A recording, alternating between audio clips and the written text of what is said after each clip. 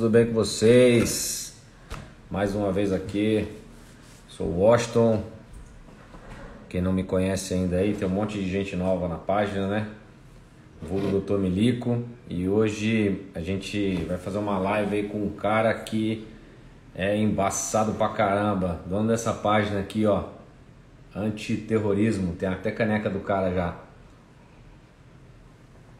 Hoje a gente vai falar sobre antiterrorismo. Aproveitar, já vou mandar um recado aí pro pessoal que vai fazer prova de direito penal na quinta-feira. Como amanhã eu tô de serviço, eu não vou poder fazer live amanhã. Então vou fazer live de direito penal hoje, beleza? Ao término da live com a página antiterrorismo, aí a gente vai tocar a live de direito penal, beleza? Já aproveitando dar mais um recado aí pro pessoal, eu não vou falar da aula 1 até a aula 8. Por quê? Porque o meu podcast ele esgota completamente a matéria de direito penal no que tange esse, essas aulas aí, beleza?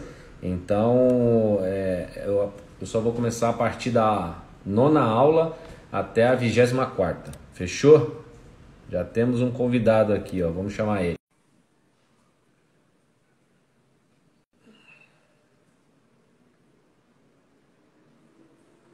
Vamos lá, comando. Opa! Espera aí que deu. Tá dentro, tá dentro. Fala, comandante! Ô, meu amigo! Como é que o senhor tá? Caramba, hein, meu? A gente tem, olha, tem até cenário, cara. Sensacional. Ó, ó o que que eu tô aqui na mão, ó. Aí sim, hein, meu? Ó, tem que pegar a sua ali, viu? Obrigado, viu? Imagina. Ó, eu, eu apresento o senhor ou o senhor se apresenta? Não, eu vou me apresentar para o pessoal. Acho que... Ah, por favor. É, Sargento Marques, sargento da Polícia Militar há 24 anos. Hoje estou no P5 do 1 Batalhão. É, até então, anteriormente, eu estava no, no 22º-M, na Força Tática do 22º-M. Eu, eu conto para eles, comandante, ou não pode contar? Por que, que o senhor está no contar, P5 pode... do 1 Batalhão? Pode contar, pode contar. Pode contar? É muito simples, gente, tá? Porque ele explodiu lá dando a bala, é simples assim. É. Ocorrência Faz de parte, resistência, né, comando? Sim, sim.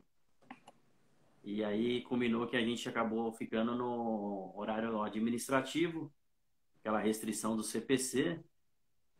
E estamos aí esperando acabar essa restrição para a gente tentar voltar às atividades fins aí, que é aquilo que eu mais gosto de fazer. Combater o crime, né, comando?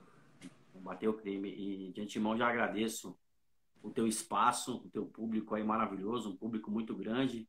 A gente percebe nas lives aí um público muito assíduo.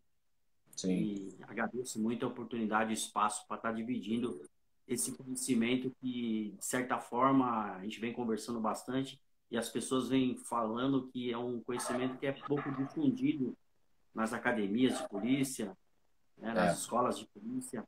Agora, recentemente, o, o Coronel Racorte, lá do comandou o BOP, BOP COI, né, a rota, ele está difundindo bastante esse conhecimento junto com, com o Major Aguilar.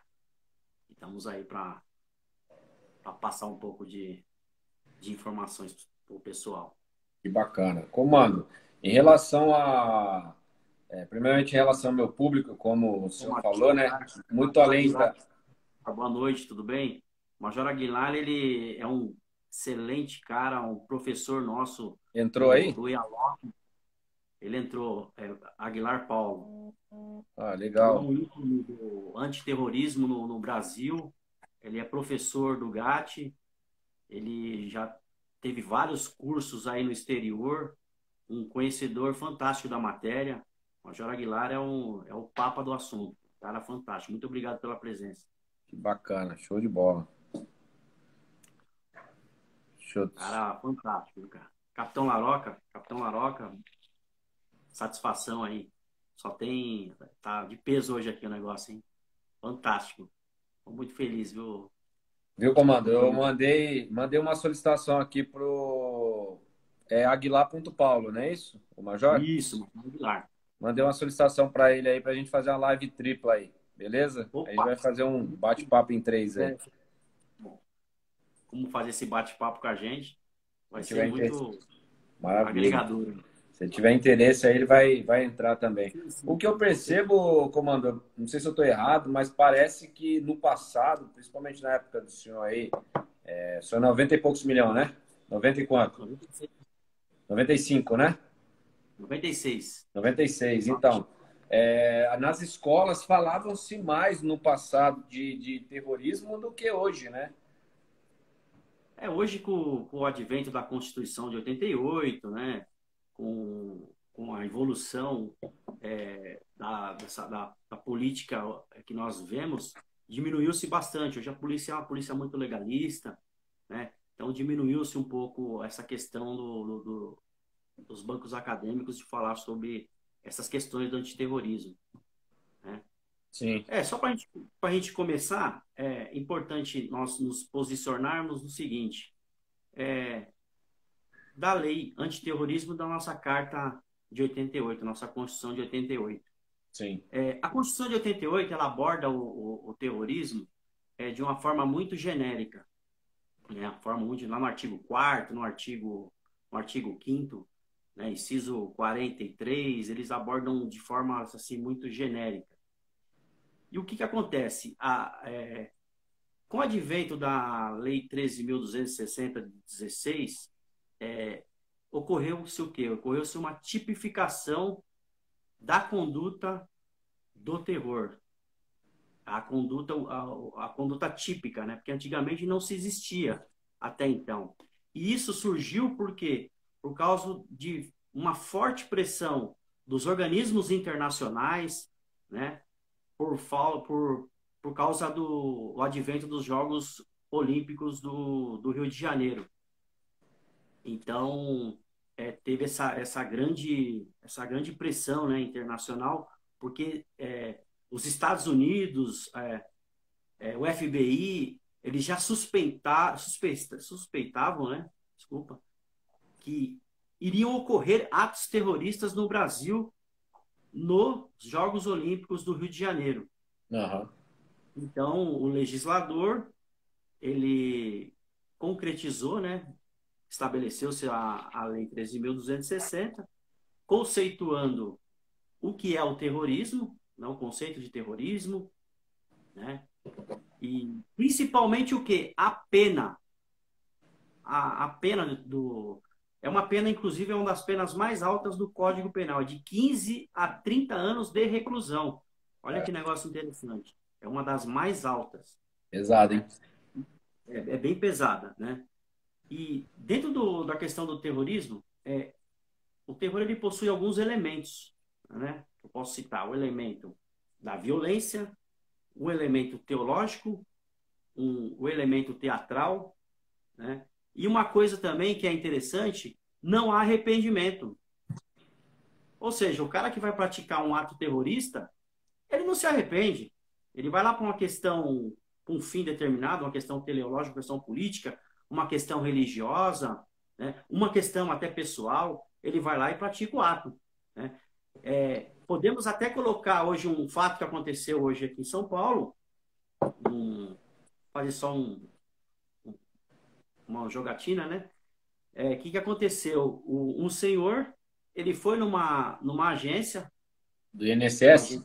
Do INSS, e ele, aqui em São Caetano, né? E ele disse que ia explodir a agência, ele ia se explodir com a agência. Então foi acionado o GAT, o GAT foi lá, é, houve a negociação, aconteceu a negociação, depois eles verificaram que os, os artefatos que ele estava lá no corpo eram, eram falsos, né? Era só, só simular.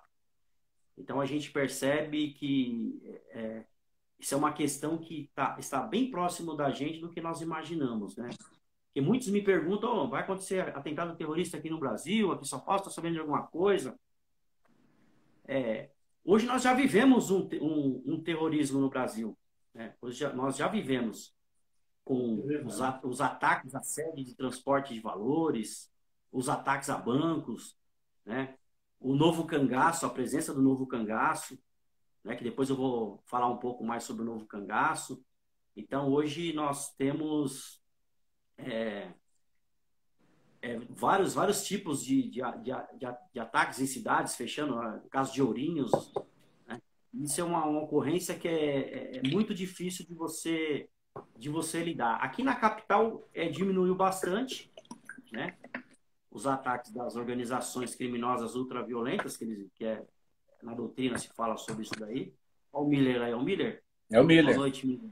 O, o autor aí do, do livro Força e Honra. É, esse. Falou que tem duas lendas. Ele que é uma lenda, pô.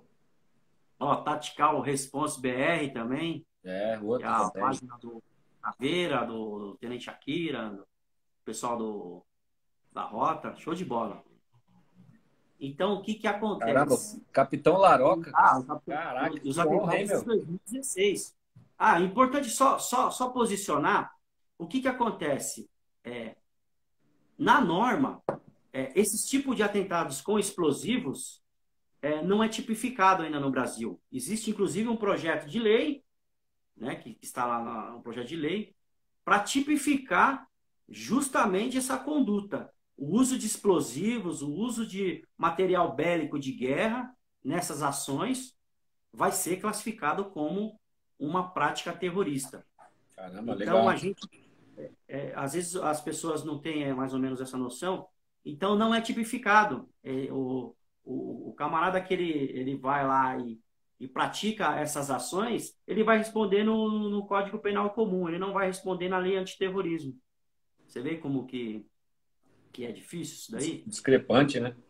É, realmente, é muito discrepante. O cara vai, vai responder com um qualificado, sabe no que vai, no que vai dar. O Darcy, sargento Darcy, do, do CPM 10, boa noite. Bem-vindo. Então, é, é, é, muito assim, é, é discrepante, é difícil de você ver é, acontecer, né? Sim. É, o, agora, só para a gente estar tá continuando um pouquinho, essa questão, é fundamental nós entendermos o quê? Um pouco da história, do contexto histórico, e um pouquinho lá atrás, é, para nós chegarmos no que está acontecendo hoje, aos, atentados de Paris, aos atentados que aconteceram na, em Madrid, atentados que aconteceram é, na Inglaterra e em Oslo, então, é, são, é importante nós definirmos um pouco, eu vou tentar é, minimizar o máximo possível, sobre essa questão, o contexto histórico, mas trazendo alguns pontos que são assim fundamentais para o pessoal entender. Sim. Né? O primeiro ponto é interessante nós é, falarmos é sobre a questão do nascimento da organização terrorista Al-Qaeda. O que, que acontece? É, de 1979 a 1989, a União Soviética invadiu o Afeganistão. Eles invadiram o Afeganistão, tomaram praticamente todo o país, e na luta contra a União Soviética, antiga a, a bandeira vermelha, o RSSS, é, foram os mujadins, que eram é, tribais regionais, e uma figura que vem surgindo aos poucos, e quando eu falar o nome dele, todo mundo já vai lembrar, Osama Bin Laden. Olha que interessante. Osama Bin Laden, nessa época, estava a época da Guerra Fria. Então, o que acontece? Os mujadins, que é a Aliança do Norte, recebe apoio de quem? Recebe apoio total dos Estados Unidos. O material bélico, todas essas questões é, dos Estados Unidos para expulsar o, os russos de lá. Ou seja, os americanos eles não entraram diretamente nessa batalha. Mas custearam. É, estávamos lá na época da Guerra Fria. Então era tudo por debaixo dos panos. O que, que acontece? Esse poderio militar foi muito grande para os tribais da Aliança do Norte e para o Osama Bin Laden e o grupo dele, que ainda não tinha se formado, tinha acabado assim um pouco de se formar a Al-Qaeda e o Talibã, o que, que eles fizeram? Conseguiram ganhar a guerra do Afeganistão contra a Rússia. Isso ali foi um fator fundamental. Tirou-se os russos do território afegão e aí os Estados Unidos, o que, que eles fizeram? Eles saíram do, da região, deixando quem lá? Deixamos Bin Laden. E nesse cenário todo, o que, que acontece? É, o Afeganistão virou, virou um total descontrole. Surgindo o Talibã, surgindo o grupo terrorista Talibã e surgindo a Al-Qaeda de Osama Bin Laden. É, quando os Estados Unidos saíram, o que, que os americanos fizeram? O George Bush fez, né, na época do Bush. Invadiu o Iraque. Invadiu o Iraque, invasão pesada do Iraque. E quem que prestou o apoio é, de bases americanas para a invasão do Iraque, o apoio? A Arábia Saudita. Olha que negócio, a Arábia Saudita ela está muito ligada com essas questões. Então, sabemos que na Arábia Saudita existem duas cidades importantes para o Islã, daqui a pouco eu vou falar um pouquinho sobre o Islã, Meca e Medina, que são cidades fundamentais para o, a, a, a, religião do islamismo, a, a, religião que é uma religião monoteísta. E o que, que os americanos fizeram? Usaram eles, o, o governo da Arábia Saudita cedeu o território para eles atacarem o Iraque. Então, isso aí, para o mundo islâmico, para o mundo muçulmano, isso aí foi uma afronta total. Na terra do Islã, cidadãos americanos, eles entenderam dessa maneira. Então, criou-se um ódio já muito grande por parte de Osama Bin Laden e de todo aquele pessoal. E eles decidiram, então, fazer o quê? Realizar atentados. Então, já em 1993, teve o atentado ao World Trade Center, praticado pelo Khaled Sheikh Mohammed, que era um da um ligado com Osama Bin Laden, né, um dos, dos líderes ali da Al-Qaeda. Ele determinou a explosão de um carro-bomba debaixo do, do World Trade Center. Só que a quantidade de explosivos usado nesse, nesse atentado foi assim muito muito pouco, então não conseguiu atingir o objetivo dele. Ou o Felipe aí, Felipe. E aí, Felipe, beleza, mano? Seja bem-vindo. Então, o que, que acontece? É, houve esse atentado ao World Trade Center, o primeiro atentado, e eles não desistiram. Dali no Mediterrâneo, eles atacaram um outro, um, um outro navio americano com explosivos, né? Teve mais de 22 baixas nesse, nesse, nesse atentado. E depois, em 2001, veio o que todos nós sabemos que é o atentado em Nova York contra as duas torres gêmeas. Perpetrados por quem? Pela maioria a maioria dos, dos, dos terroristas que atacaram as Torres Gêmeas eram de cidadãos da Arábia Saudita. Então, a Arábia Saudita está sempre é, nesse polo. Então, se gerou muito, muito ódio nessa, nessa questão e eles atacaram a, as duas Torres Gêmeas. Né? E veio a ceder as duas Torres Gêmeas, a gente já sabe. Né? Então, é, gerou-se uma pressão muito grande internacional sobre esse fato, né? E aí o, o, o George Bush, filho, determina o ataque ao Afeganistão imediatamente. As tropas americanas, até interessante falar um contexto histórico, depois quem quiser dar uma, uma verificada no livro é, Dos, Dos Heróis e, e, quem quiser verificar também é, no filme Dos Heróis, é uma, é uma história muito bacana que o, os americanos, os primeiros americanos a chegarem no solo no solo do Afeganistão, eles foram desceram lá de Chinook, que é uma, um helicóptero dos mais evoluídos americanos, desembarcou dois, 12 soldados americanos e eles foram combater os, os talibãs que dominavam lá a, rodo lá o, a região do Afeganistão. E, e só para um ponto interessante, é, quando eles chegaram lá no Afeganistão, eles perguntaram, eles falaram, meu, como é que nós vamos Cadê os carros para nós nos deslocarmos aonde está o Talibã para me jogar bombas até eles?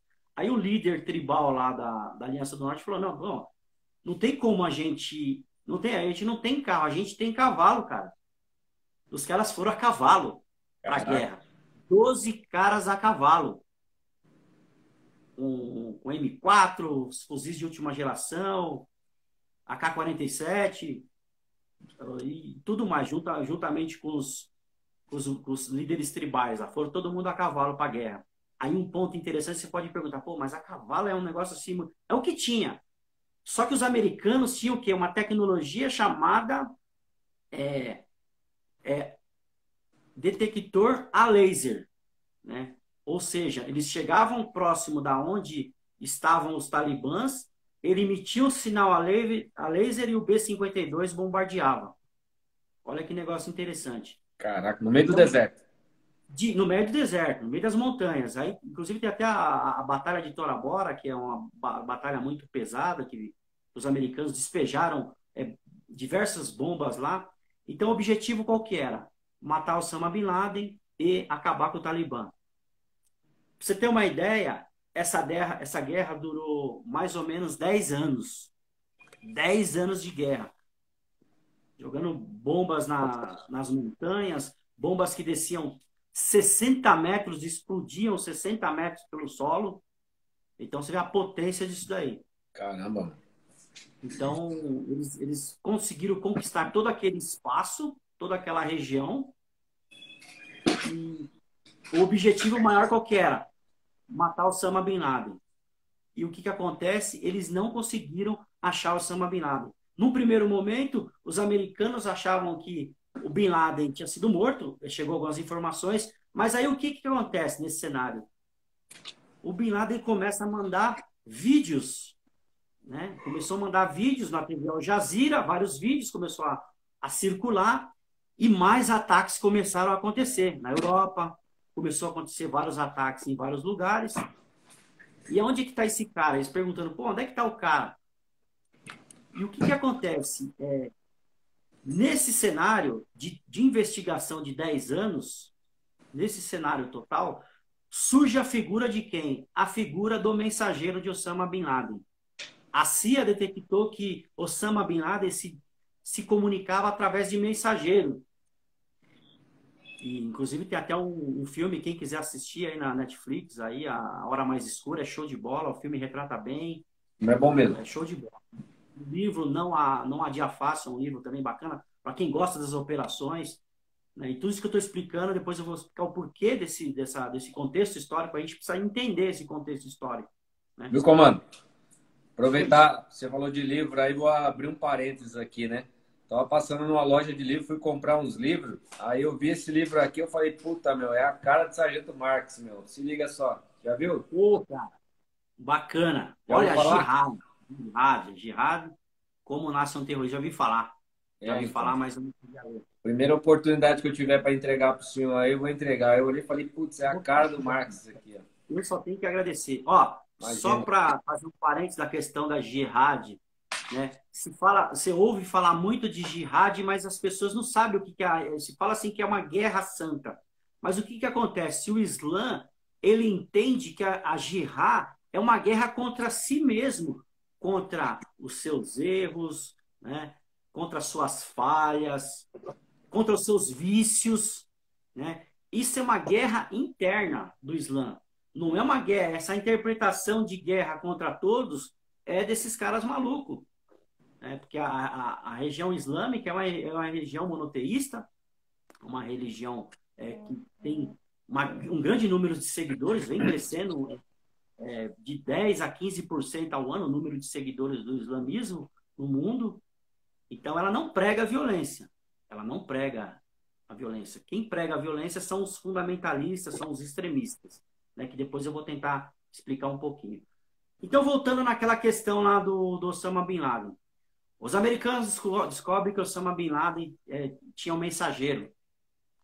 Então, é, diversos terroristas que foram capturados é, e levados para a, a prisão, a, a, prisão no Iraque de Abu, Abu Ghraib e na prisão em Guantánamo, lá em Cuba, eles sempre, fala, sempre falavam o nome de um, de um mensageiro de Osama Bin Laden, só que a CIA não tinha certeza de quem era e o que, que a CIA é, conseguiu ela conseguiu um número de telefone. Porque num primeiro momento, o mensageiro do Osama Bin Laden ele se comunicava de que forma? Ele se comunicava através de bilhete. Só que a partir, desse, a partir da evolução tecnológica, o mensageiro começou a usar o telefone. E aí, só para resumir um pouco a história, o mensageiro consegue fazer uma ligação telefônica para a mãe dele lá no Kuwait, e os americanos interceptaram essa ligação e através de uma frase, uma frase que isso aí, essa frase é fundamental. É, estou trabalhando com os mesmos ainda. Ele fala, ele deixa bem claro isso daí. E aí o que que acontece? Eles detectaram que essa ligação estava vindo do Paquistão, uma região bem povoada lá do, do Paquistão.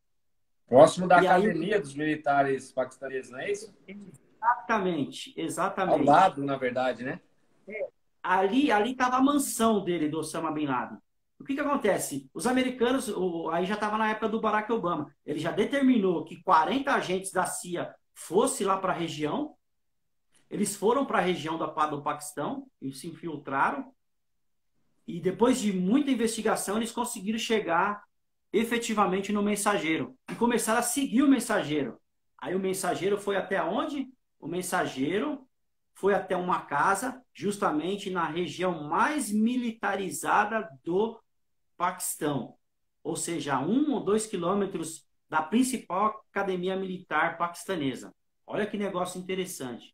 Caramba. Então eles cercaram essa mansão, eles perceberam que a mansão tinha muros de 3 metros e meio a 3 metros e começaram a monitorar. Chegou aí 60 agentes da CIA para aquela, aquela região, todos infiltrados. Então a, investigação ficou muito grande em cima dessa casa.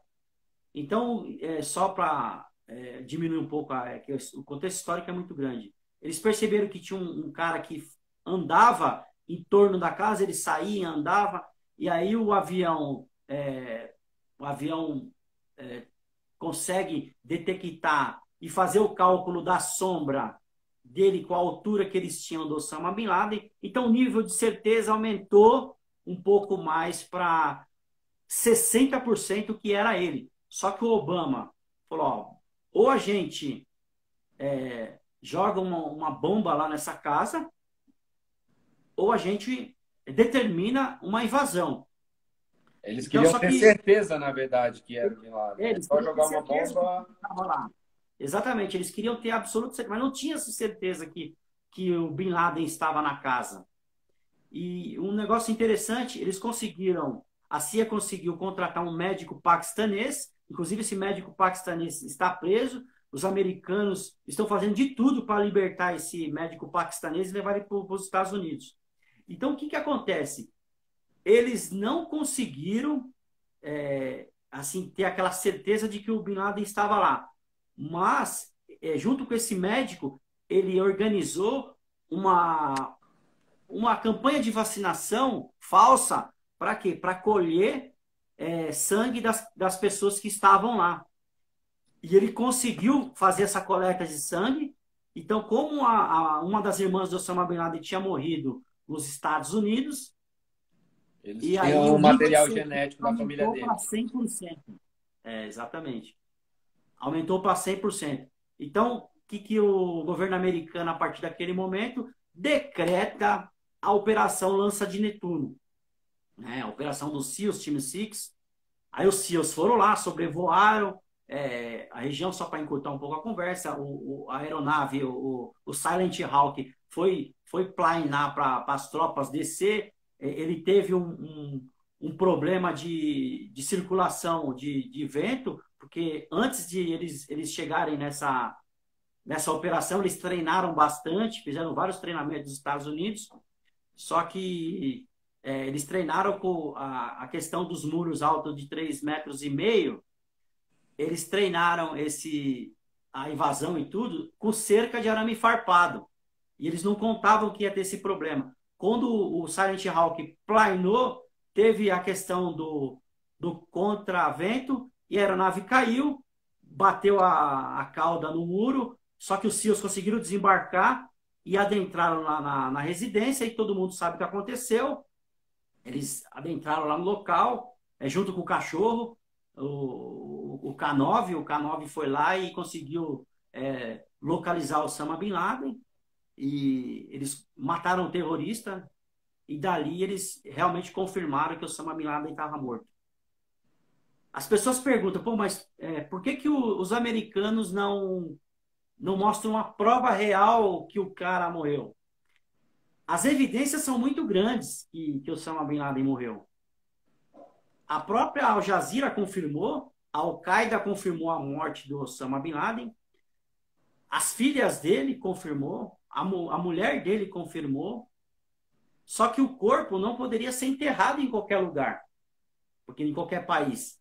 Eles ia virar um lugar sagrado, né? Exatamente, exatamente. Ia virar um local de peregrinação. E o que, que aconteceu? O, o governo americano pediu para a Jordânia, pediu para vários países, né, inclusive para o próprio Afeganistão, eles não quiseram o corpo dele. Então, como manda a lei islâmica, eles jogaram o corpo no mar. Então foi jogado no mar e, e aí, aí nessa, nessa, nessa parte que se jogou no mar, encerra-se é, a parte fundamental da Al-Qaeda, a queda da Al-Qaeda.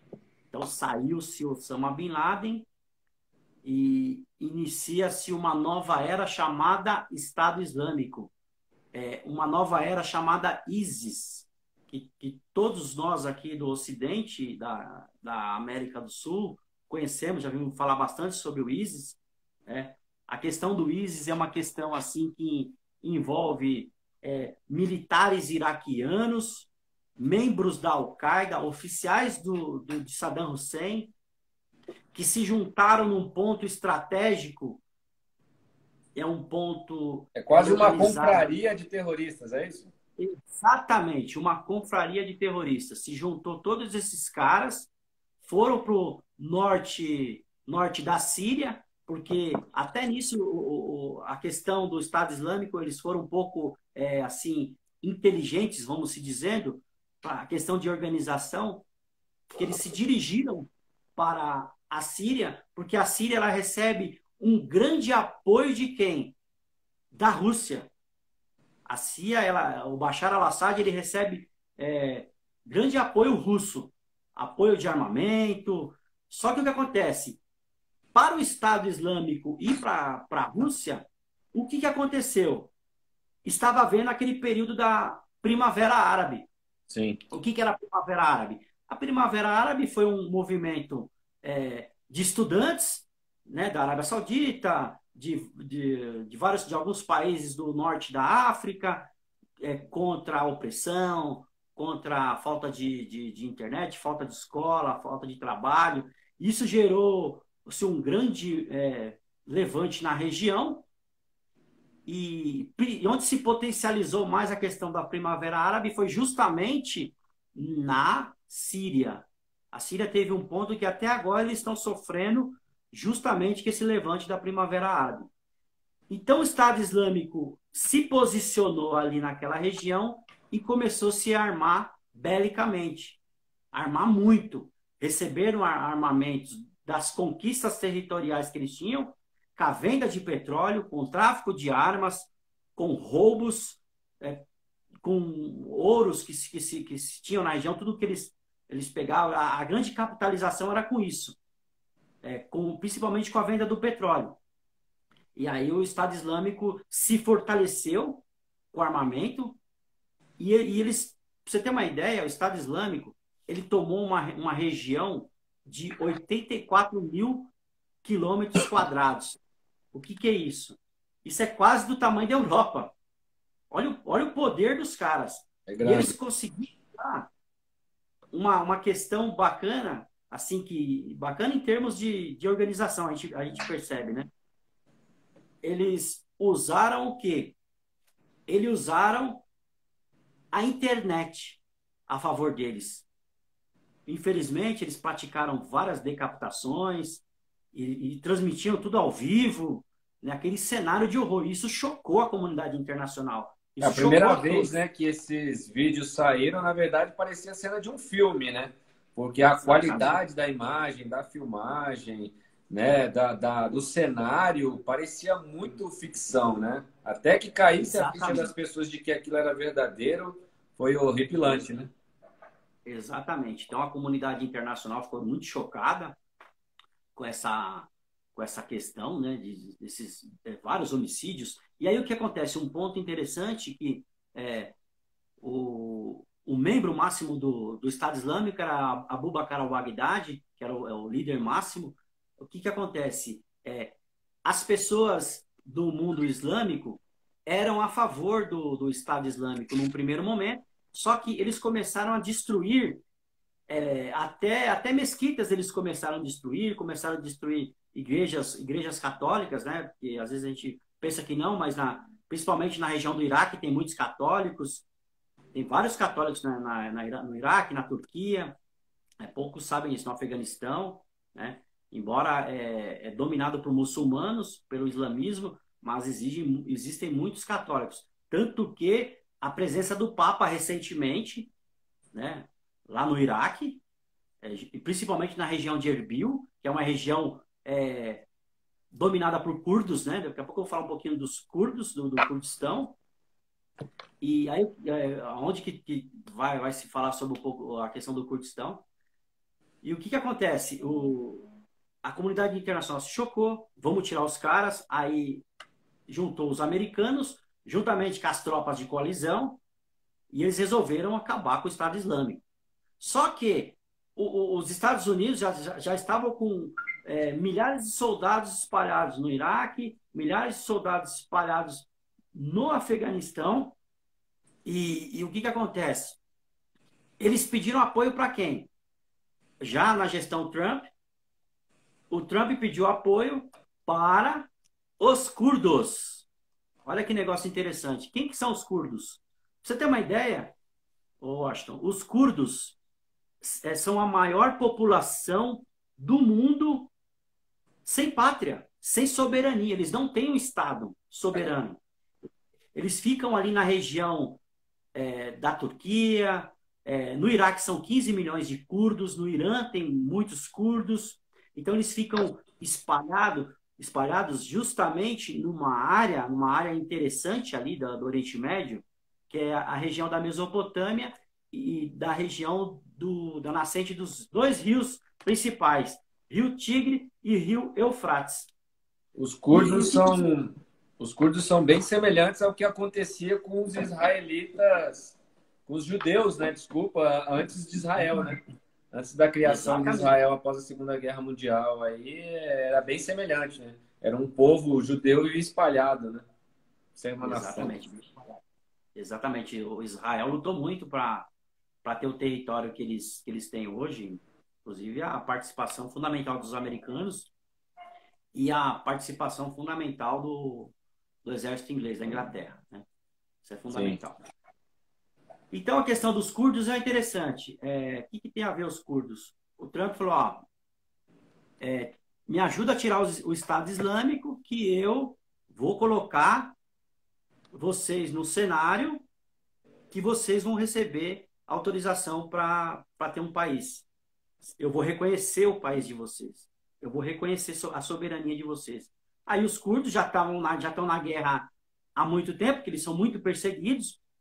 Porque para você, você ter uma ideia, os curdos eles não são muçulmanos, é, é, é, existe uma, uma quantidade de muçulmanos curdos, mas tem curdos que são católicos. Inclusive, lá, é, a visita do Papa naquela cidadezinha de Erbil, tem uma, uma das igrejas católicas mais antigas do mundo, nessa região de Erbil, onde o Papa, o Papa foi visitar, o Papa, o Papa Francisco foi fazer a visita recentemente. E o que, que acontece? Os curdos foram para a guerra. Os curdos, os curdos receberam material dos americanos, total apoio dos americanos para acabar com o Estado Islâmico. E o que, que aconteceu? Conseguiram acabar efetivamente com o Estado Islâmico. Recuperaram toda aquela região, recuperaram tudo, né? aquela, aquela região dominada pelo, pelo ISIS, e teve uma grande operação americana, e eles conseguiram é, localizar onde o, o Abu Bakr al-Baghdadi estava. Ele se escondeu num, numa região próximo da onde o Saddam Hussein nasceu, uma cidade de Tikrit, próximo àquela região. E eles cercaram o local e o Abu Bakr al-Baghdadi se explodiu. Inclusive, um dos cachorros, um, um do K9 americano, é, eu falo muito K9 porque é canine, né? Canine, então é cano, can... canino, né? Canino em inglês, né? Canine. Canine, né? Então eles falam muito que é cão operacional. O cachorro foi lá ele, ele é, se explodiu. Inclusive o cachorro, o Cairo, foi, foi machucado nessa operação e Abu Bakr al-Baghdadi é, foi, foi morto, encerrando-se o ciclo do Estado Islâmico. Acabou-se o Estado Islâmico ali, mas a ideia de.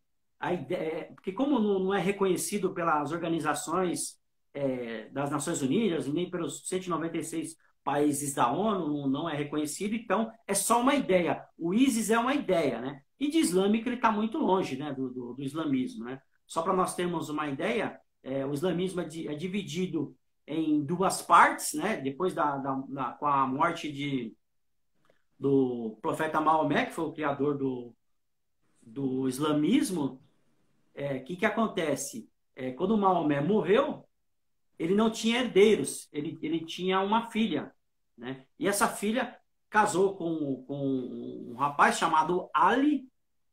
E o que, que acontece? O Ali falou: Não, eu vou eu sou eu sou o profeta. Eu vou conduzir as coisas. Eu sou o profeta. Então ali surge o ramo sunita, justamente por causa de, dessa dessa separação. Então uma grande quantidade de pessoas, de povos, de muçulmanos não aceitaram isso daí, que para ser é, descendente do profeta Maomé, você tem, dele, né? Você tem que ter uma representação política muito grande e religiosa na região. Então aí nasce quem? Nasce os xiitas. Então, só para o pessoal entender o que é xiita, que eu espero que eu tenha é, esclarecido, que o pessoal me pergunta bastante sobre xiitas, sobre, sobre os sunitas. Então, é, desse cenário todo, acabou o Estado Islâmico, é, ainda as tropas estão em terra, em guerra? As tropas americanas ainda têm poucos é, soldados lá, não chega acho que 10 mil soldados, mas ainda tem a máquina de guerra. Os americanos é uma máquina de guerra, está atuando no Iraque, está atuando no Afeganistão e, e estão lá ainda com essa, com essa guerra para tentar é, manter a paz lá, porque é difícil você manter a paz numa região que já vem conflitos assim de, de séculos, né? São séculos e séculos de conflitos, né? E o que, que acontece? É, trazendo um pouco para o nosso cenário brasileiro, um pouquinho para o nosso cenário brasileiro, um grupo chamado Hezbollah, que é um grupo libanês. Esse grupo ele recebe muita é, é, verba do Irã, uma verba financeira do Irã, e o Hezbollah, o que, que ele costuma fazer para capitalizar, se capitalizar financeiramente? Tráfico de armas é, e principalmente a venda de produtos é, de produtos falsificados. Então o Hezbollah ele faz bem isso daí. E aonde que nós aqui no Brasil existe células do Hezbollah? Justamente na região da Tríplice Fronteira. A nossa Tríplice Fronteira, que é o Paraguai, Argentina e Brasil. Olha que negócio interessante. Isso é evidências, evidências da Polícia Federal, evidências do FBI, que o Hezbollah está operando muito forte há anos, inclusive, naquela região. O Hezbollah está é, operando muito forte ali. E o Hezbollah é, resolveu o quê? Membros do Hezbollah eles resolveram se unir com o PCC. Olha que negócio, com o tráfico de armas, ali naquela região que é muito intenso, o tráfico de armas, o tráfico de drogas, que é muito intenso. Inclusive, só para o pessoal ter uma, uma ideia, o Hezbollah atacou a Argentina, atacou os, os israelenses na Argentina na década de 80. Caramba. Eles atacaram uma sinagoga e, e, e atacaram uma outro, outro local que os, que os israelenses estavam é, reunidos. Então, o, o Hezbollah está muito forte na nossa região, na região da Tríplice Fronteira. E, e nós, é, o, governo, o governo federal, junto, contra as, é, juntamente com as agências, está, está monitorando, principalmente a Polícia Federal, eles estão monitorando bastante aquela região, né? monitoramento intenso, né? para ver quais são os passos que os caras vão dar nos, nos, próximos, nos próximos dias. Tanto que é difícil, né? Muitos me perguntam se o Brasil está preparado com um ataque terrorista, de um ataque dinâmico, né? É, o que, que seria um ataque dinâmico? É, a nossa polícia ela usa, ela usa muito o quê? Ela, ela age de forma muito estática. Como estática? As pessoas podem perguntar como que a polícia age de forma estática. A maioria dos nossos confrontos que se tem um tomador de refém, um, um, um indivíduo em barricada, é, é, é a parte que é estática é, o dinâmico aconteceu muito o quê? Na Europa, os ataques havidos em Paris, onde os terroristas saíram pela rua matando pessoas indiscriminadamente, em formas de atiradores ativos, né? Aí você pode perguntar, o que é um atirador ativo? O atirador ativo nada mais é que um indivíduo é, que pratica homicídios em série. Esse é o atirador ativo. É o indivíduo empenhado em é, praticar homicídios em série.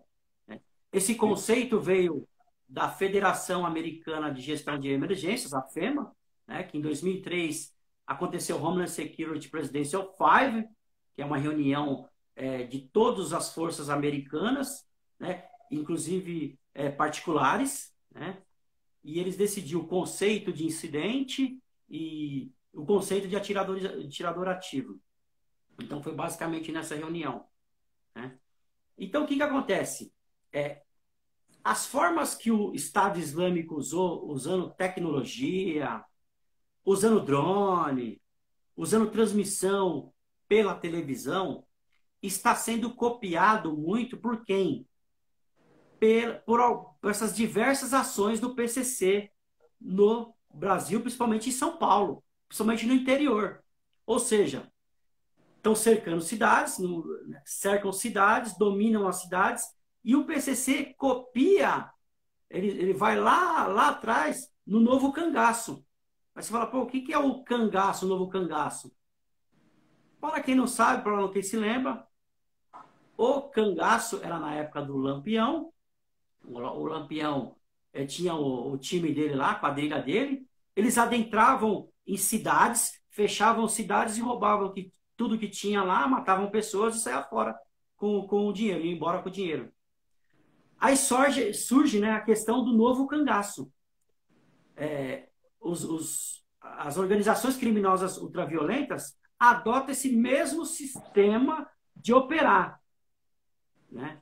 O ponto fundamental é o que?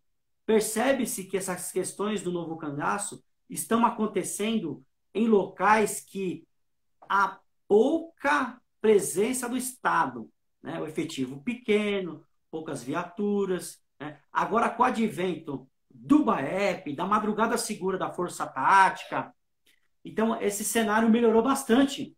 Né? Tanto que o, o índice de, de roubos a banco e a, e a sede de transporte de valores diminuiu bastante no, aqui na capital.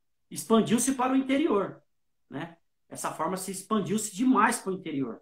O interior está lutando com os BAEPs para ver se consegue é, diminuir. A gente percebe que houve uma queda muito grande é, dessas questões do, do roubo a banco e a sede de transporte de valores. Né?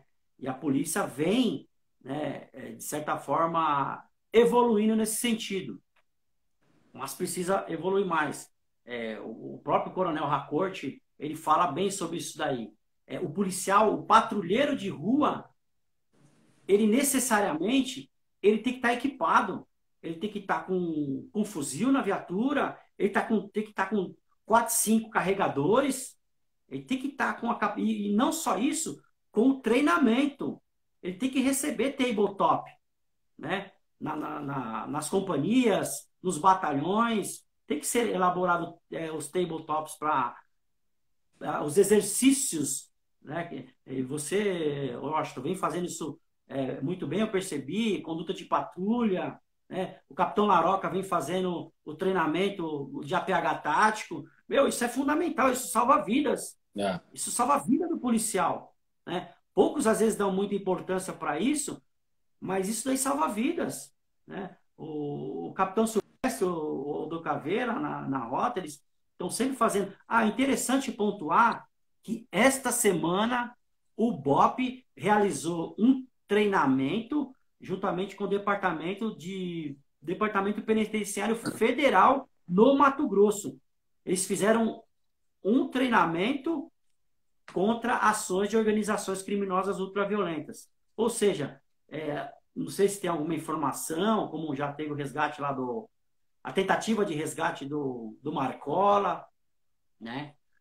Então existe essa, essa preocupação muito, muito grande. Aí o pessoal está perguntando não é pergunta, não, é uma afirmação. Ah, uma afirmação. É, equipado tanto belicamente, né, quanto intelectualmente, realmente, né? O, não adianta nada você ter ótimos equipamentos e não estar tá treinado, não adianta você estar tá treinado e não ter equipamento, não adianta você ter treinamento e equipamento e não ter um homem para poder operar os equipamentos, né? Então, o, o, triângulo aí precisa estar tá fechado para que a gente possa ter um bom exercício da atividade policial na rua, né? Interessante que quem, quem opera bem essa questão do homem em treinamento, e principalmente a questão da integração das forças. Né?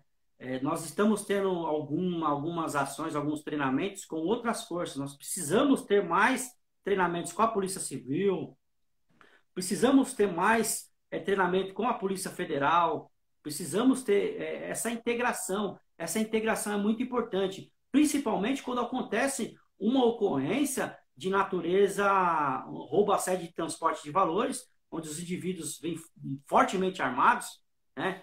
Inclusive o cérebro desse, da, questão dos roubos a sede de transporte de valores era o Zequinha, né? O Luciano Castro de Oliveira. O Luciano Castro de Oliveira ele foi preso, ele foi preso, ele ficou quase 20 anos na rua, e, só que a Polícia Civil conseguiu detectar onde o Zequinha estava e foram lá e prenderam ele. O Zequinha era o cérebro, era um dos cérebros do, de roubo a sede de transporte de valores é, e roubo, roubos a banco no, no Brasil. Zequinha é um cara que, infelizmente, é, tinha inteligência, mas por mal. Né?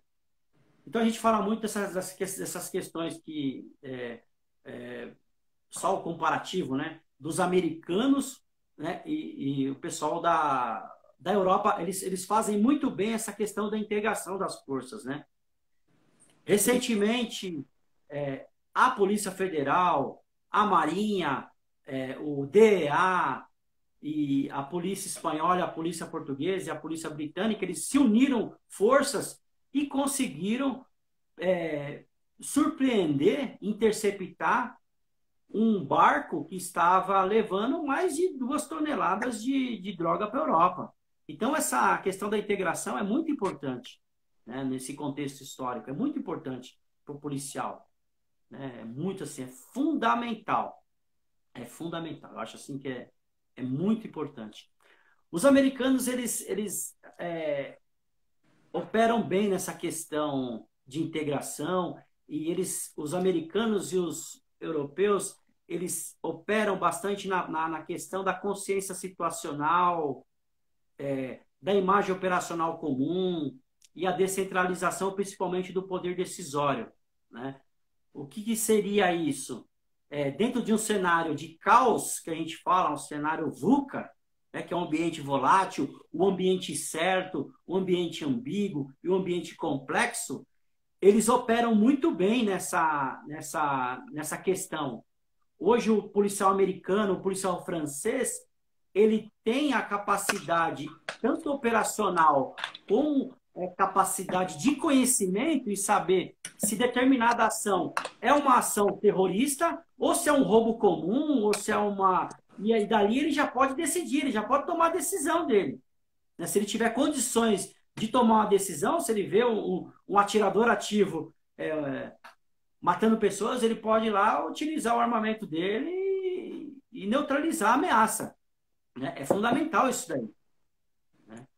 E essa questão do, do, do ambiente de caos, é, desse tipo de conhecimento, né? da imagem operacional comum, o que, que é a imagem operacional comum? Nada mais é que seria você conhecer os procedimentos, conhecer as normas e, e saber o que, o que está acontecendo na hora.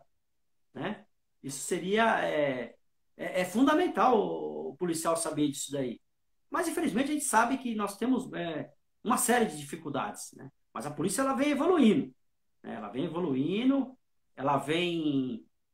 Ela vem. Quem está? O doutor, doutor Glauco. Doutor Glauco Henksman, advogado. Obrigado pela presença, doutor. É o Reichmann, né? Ah, o doutor Glauco, ele, ele trabalha muito na área administrativa, militar, ele, ele é na área penal, na área criminal, ele é advogado é, amigo nosso aí.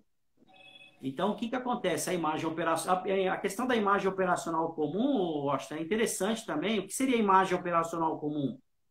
Você está no local, você tem o conhecimento daquilo que você está acontecendo e de forma compartilhada. Você precisa compartilhar para as outras unidades de serviço que estão chegando, né? elaborar um, um plano de, de ação, uma base de, de, de comando, né?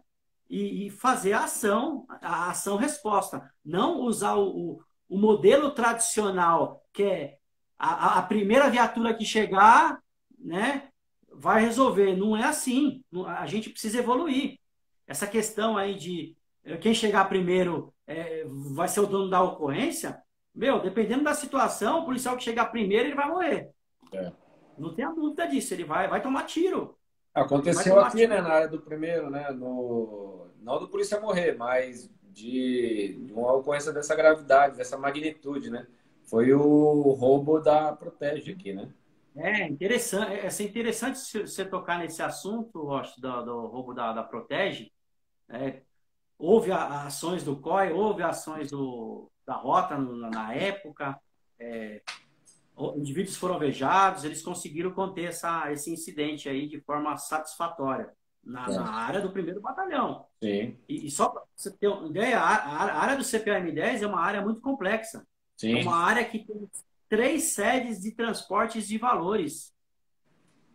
Não sei se você sabia, três sedes Sim. de transporte de valores. Sim. É, uma, uma, protege o Banco do Brasil, que é sede regional. No primeiro também. Eles tentaram, eles tentaram roubar lá, né? mas Sim. não conseguiram. Sim. A Polícia Civil e conseguiu prender os caras. E o Zequinha estava envolvido, o Zequinha é sempre envolvido nesse meio. Só que o Zequinha era o articulador. E temos a TB Forte na área da primeira C do 22 aqui. Isso mesmo, lá perto do 99, né? Exatamente, perto do 99. Então o policial ele tem que estar preparado para essas ações. Né? Nós vamos ainda, precisamos evoluir bastante nesse cenário. Né? Nesse cenário para combater essas organizações é, criminosas ultraviolentas, que é, é muito difícil você combater, porque só, só a vontade de, de você ir para cima, às vezes a, a, a forma afoita de você é tentar resolver, você se mata e mata seu parceiro. Você entendeu? É. Então, é, é, doutor Milico, espero que, que eu tenha esclarecido algumas coisas aí com relação às questões do, Não, do, do terrorismo. Sensacional. Na, na verdade, eu, na verdade, eu vou dizer que se a gente continuasse, dava, dava mais umas duas horas de live tranquilo, né? É, então, Principalmente quando a gente entra nos casos concretos, né? Exatamente. Foram e muitos casos... casos de terrorismo aqui no Brasil já, né? Então, o que, que acontece? É, no Brasil, nós temos alguns casos pontuais de, de ocorrências de, de que vamos se dizer que seja é, é, terroristas, né, propriamente dita, mas tivemos muito na década de 70. Né, os esquerdistas praticaram várias ações terroristas, inclusive né, é, teve ocorrências contra a polícia militar, diversas ocorrências, né? De uma série de ocorrências. Recentemente, temos alguns casos pontuais que podemos mencionar aqui, que foi o massacre da escola Raul Brasil, em Suzano, e na escola de Realengo, lá em Tasso da Silveira, escola Tasso da Silveira, lá em Realengo, no Rio de Janeiro, onde, onde um estudante adentrou o local e praticava, praticando homicídios em série. Isso é o atirador ativo, doméstico. Então, a presença policial, é, graças a Deus, nesse dia, ele não, não, não concluiu o que ele estava querendo fazer de forma mais satisfatória, porque a, a força do Estado chegou, dois policiais chegaram e conseguiram neutralizar ele e ele se matou. Um ponto interessante, é, só para a gente pontuar, nessas questões envolvendo é, alunos de escola, ex-alunos, é, essas pessoas é, mentalmente conturbadas, quando eles percebem, não é todos os casos, quando eles percebem a presença da força policial, eles se suicidam. Dificilmente parte para uma ocorrência de, atura, de, de vida embarricada, com tomador de refém. Ela, ela não tem esse em objetivo. Em Columbine aconteceu isso, né? Exatamente. Em Columbine, Estados Unidos, é, o, o, cenário, o cenário principal da técnica de atuar é, contra essa forma foi justamente em Columbine. Porque o que acontece? A polícia americana naquela época ela atuava de forma estática, ou seja, o tradicional conter, isolar e negociar. Só que a ação que estava acontecendo dentro da escola era uma ação dinâmica, era uma ação que estava em andamento. Né? Então, eles, eles tinham que tomar a decisão para fazer a neutralização do, do que estava acontecendo. Então, é, a partir de Columbine, a, o Departamento de Polícia de Los Angeles inaugura o sistema dinâmico de gerenciamento de incidentes. Foi justamente com essa ocorrência de Columbine. Inaugurou-se o sistema é, dinâmico de gerenciar é, o incidente. É, se fala em incidente, se fala em crise. Pô, incidente e crise. É, o conceito de incidente ele é um conceito um pouco mais amplo no sentido de que ele demanda uma capacidade de resposta maior das agências e do Estado em determinado tipo de ocorrência. Né? Se acontecer uma rebelião num complexo penitenciário, quem que vai ser o gerente da crise? A SAP ou o comandante da área? Então, o incidente ele demanda mais forças policiais, né? Ele demanda isso daí. Então, em Columbine, é, teve essa expansão, não perdendo ainda o conter, isolar e negociar, o sistema estático, né? passando para o sistema dinâmico. Recentemente, em Santo Amaro, tivemos uma ocorrência é, estática, onde o indivíduo é, pegou uma mulher lá e teve negociação da, da polícia local e do GAT, e eles conseguiram de forma satisfatória resolver a, o incidente. Né? Foi, foi muito, muito bom ali. Bacana. Foi muito, né? Então, acho que espero que eu tenha esclarecido bastante aí, espero que eu tenha é, contribuído de alguma forma com o conhecimento de vocês aí, dos seus ah, seguidores. Pra caramba. Tenho que agradecer. Né? Só tem que agradecer aí.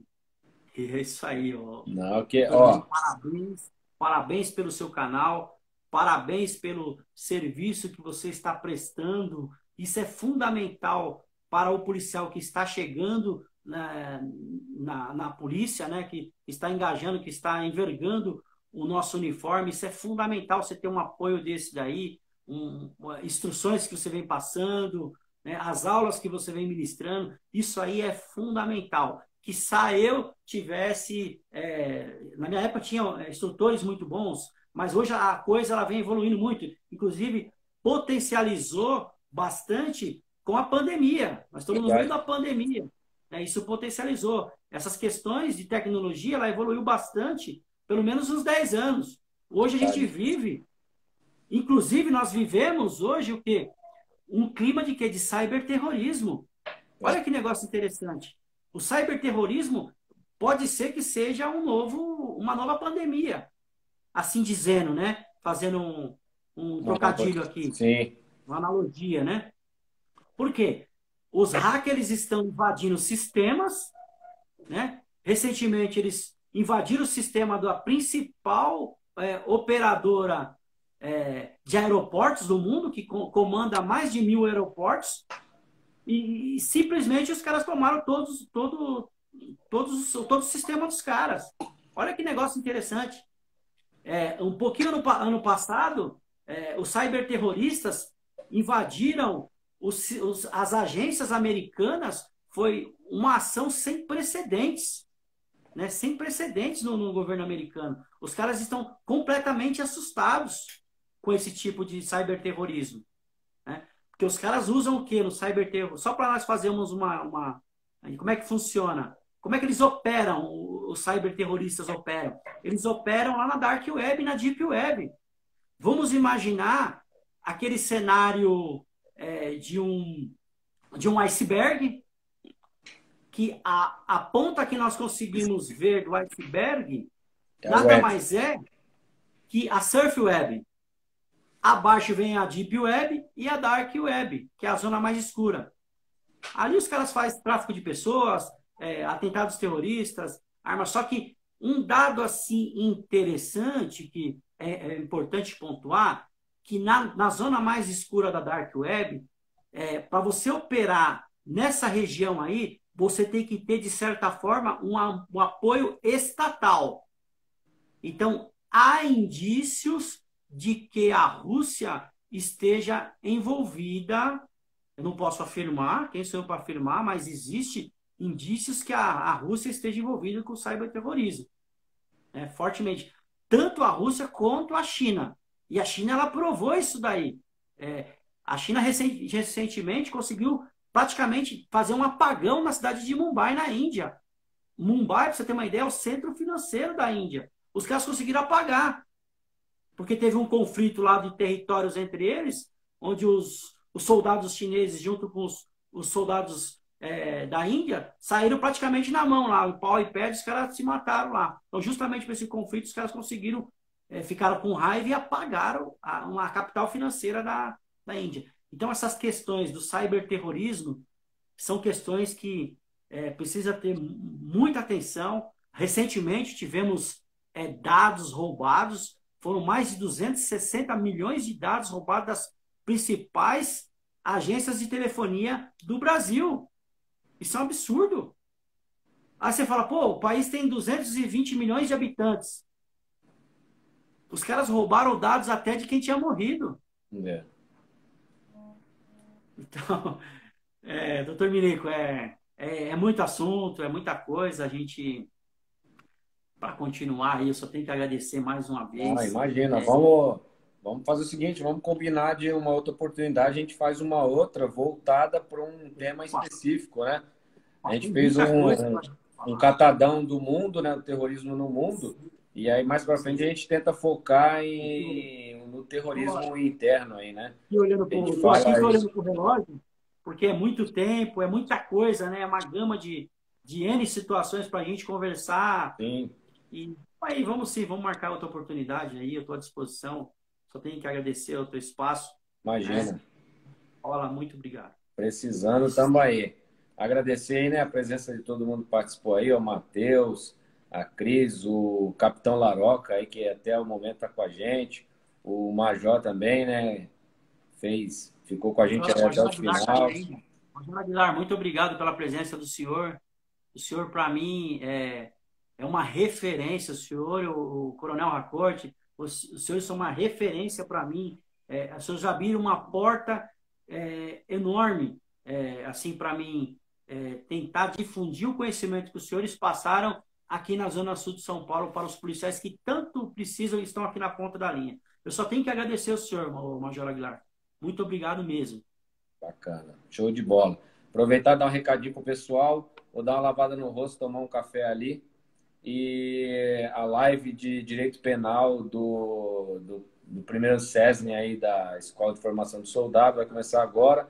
Pessoal que for acompanhar aí pela apostila, eu vou começar a dar aula a partir da aula 9, tá? A aula de 1 a 8 tá no meu podcast. Quem gostar de escutar podcast aí, entra lá nas principais plataformas, tem no Spotify, tem no Deezer, tem no Cast, é, é, Postcast, tem várias plataformas aí, quem é, gostar de escutar aí, no iTunes também, só procurar lá, escreve Doutor Milico, que tá lá, beleza? E aí. Bacana, né? Então, do nono até a 24, beleza? Agradeço mais uma vez o Sargento Marques aí, que está no primeiro batalhão com a gente aí, o batalhão mais antigo da Zona Sul de São Paulo. E agradecer imensamente os conhecimentos que você passou para a gente aí, beleza, comando? Cara, obrigado, Washington. Mais uma vez aí, sem palavras, dividir esse teu espaço, esse teu espaço nobre aí, transmitindo algum conhecimento para as pessoas e, e, nada mais é que inspirar também as pessoas que queiram entrar na polícia, que a polícia é fantástica. Eu sempre falo, a, a polícia ela não é o melhor lugar do mundo, mas também não é o pior. Basta você traçar o seu caminho. Quem faz o lugar é você, não é, comando? Exatamente. Exatamente. Então, senhores, até daqui a pouquinho e que a sorte esteja ao lado dos audazes. Foi. Obrigado.